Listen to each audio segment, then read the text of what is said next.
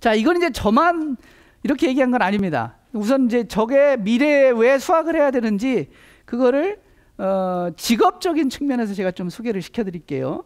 이제 이건 얼마 전에 발표됐던 음, 자료들입니다. 이건 뭐 인터넷에 가면 지금도 뭐 누구든지 다 볼 수 있는 자료니까 한번 관심 있으면 보십시오. 미래에 어떤 직업이 생길까? 이제 어, 우선은 요런 요렇게 이제 좀 구별할 수가 있습니다. 첫 번째는요. 어, 인공 장기 조직 개발자.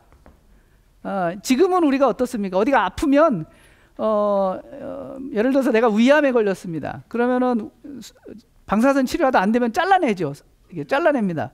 근데 이건 무슨 얘기냐면 우린 잘라내고 그냥 붙이는데 그게 아니고 잘라낸 다음에 나한테 맞는 내 내 내 그 유전자를 가지고 있는 어, 어떤 걸로 복제를 합니다. 똑같이 내가 지금 위가 고장났다면 내 피나 뭐 DNA를 갖고 가서 복제를 해서 그 위를 만들어서 내 지금 위는 잘라내고 새 위를 갖다 붙이는 거예요. 예. 예를 들어서 내가 관절이 아프다, 허리가 아프네. 그럼 허리를 허리만큼 똑 잘라내고 새 허리를 딱 갖다 붙이는 겁니다. 예. 그래서 이거는 앞으로 이제 꿈의 기술이죠. 근데 지금 연구가 활발하게 되고 있습니다. 그 다음에 이제 저쪽에 보면 오감 인식 기술자. 어, 요즘에 이제 뭐가 나오냐면 지금은 여러분들 지문, 스마트폰 이런 거 지문 인식 뭐 이런 거 홍채 인식 이런 거 하지 않습니까? 근데요, 요즘 개발되고 있는 기술이 뭐냐면요. 얼굴을 그냥 갖다 대요, 이렇게. 얼굴을 대면 얼굴을 인식해서 얘가 결제를 해줍니다. 아, 너 맞구나 하고. 예, 조금 있으면 어, 스마트폰 이런 거 필요 없을 겁니다, 이제. 갖고 다니기 엄청 귀찮잖아요. 그죠? 어, 그냥 얼굴로 되고요. 어디 가든지 그냥 시계 비슷한 거 하나 차고 그냥 툭 치면 홀로그램 떠가지고 우리 영화 SF 영화에서 나오는 것처럼 그런 시대가 될 겁니다.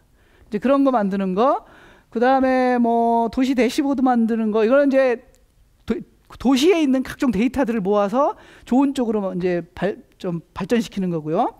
조금 제가 재미난 걸 하심 좀 소개시키지만 기억 대리인 사실은 AI 인공지능이 됐다. 그럼 컴퓨터가 엄청 발전하겠죠.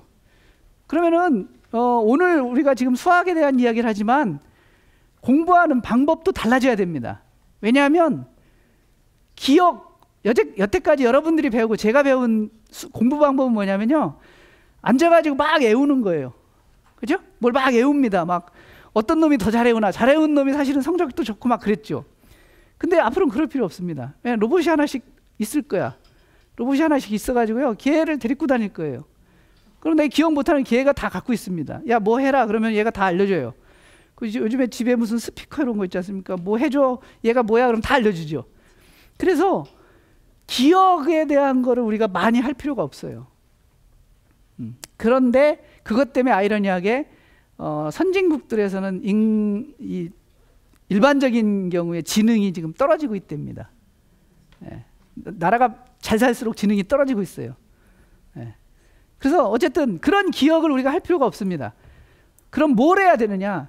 얘가 갖고 있는 컴퓨터가 갖고 있는 이런 기억들, 이런 자료들을 우리가 재조직화해서 남들이 생각하지 못했던 어떤 새로운 물건 또는 새로운 상황을 만들어내야 됩니다.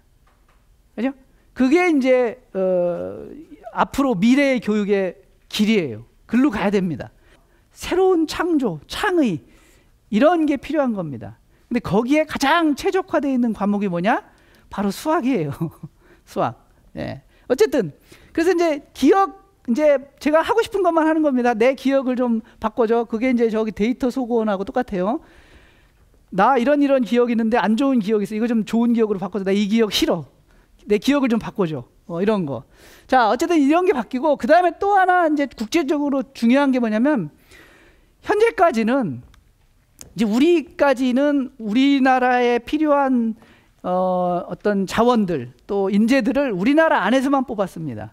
근데 앞으로는 그럴 필요가 없어요. 그냥 방 안에 앉아 있으면 전 세계하고 다 연결되는데 내가 원하는 사람을 전 세계에서 하야할 수 있습니다. 누구 어 나는 지금 무슨 어 이거 마이크 잘 나오는 건데 마이크 기술자가 필요하다.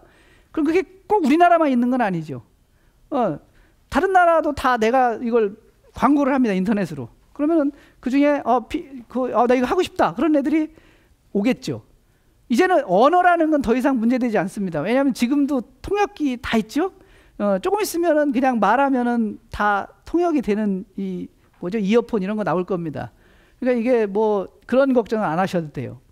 그래서 국제적으로 이제 누구를 내가 뽑겠다 그러면은 어 뭐 아프리카 사람도 신청할 수 있고 미국 사람도 신청할 수 있고 저기 어디 뭐 알라스카 사람도 신청할 수 있고 이렇습니다. 그래서 그 중에 뽑은 사람을 뽑으면 돼요. 네, 그래서 이제 어 저기 있는 대로 국제 인재 채용 대리인이 굉장히 뜨는 직업으로 나타날 것이다. 그렇게 되면 문제가 뭐냐? 이 안에 전 세계 사람이 모이는 겁니다. 그러면 서로 사, 태어나고 생활하는 방식이 다르겠죠. 그럼 이걸 해결해 줘야 돼요. 갈, 막 갈등이 생깁니다. 왜냐하면 나는 내 인사법은 껴안는 거야. 근데 우리 동네에서 껴안으면 성추행이야. 그럼 안 되죠. 그러니까 이런 거를 풀어줘야 됩니다. 그래서 문화 갈등 해결사라는 새로운 직업이 미래에 각광받을 수 있는 직업이다.